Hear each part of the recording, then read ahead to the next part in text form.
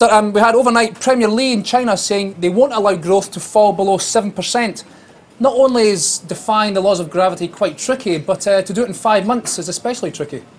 Yeah, I think um, uh, certainly the initial reaction will be a positive one as far as Europe is concerned, because certainly uh, Asian uh, consumption and specifically Chinese consumption has really been uh, the main driving force behind the markets over the last number of years. Having said that, though, I think it'd be fair to point out that quite a few of the analysts, certainly uh, European analysts at any rate, uh, when it comes to digesting Asian economic data and specifically Chinese economic data, they do tend to take it with a pinch of salt. So, yes, um, managing to keep this above 7% will uh, will certainly be viewed as, uh, as a positive uh, stance. But it'll be interesting to see exactly how committed they are uh, when it uh, comes up to to challenge this, as it undoubtedly will do at some point in time down the road. You mentioned that pinch of salt there. Now, I mean, growth is heading towards seven.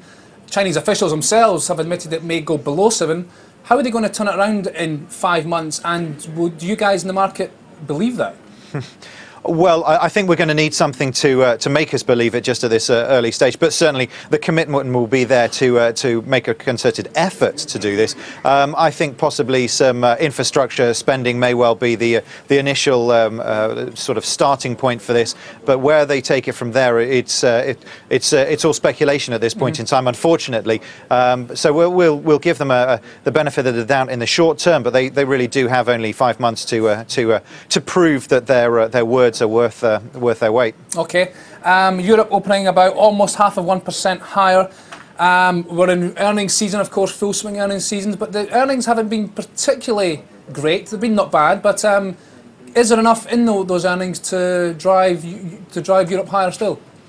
Um, I, I, think it's uh, there's enough there to, to keep the momentum that we've got uh, going uh, for the time being. It'll be interesting to see when uh, some of these major indices uh, come up and, and retest um, uh, levels, as it were. I, I think it's we've we've still got a, a half eye on the the U.S. markets and the reporting season that's going on there. That still is, I think, um, arguably just as important, if not more so, than the than the European story.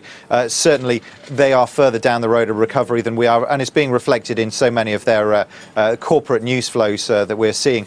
Um, I guess we weren't expecting quite as much out of the European scene as we were out of America anyway.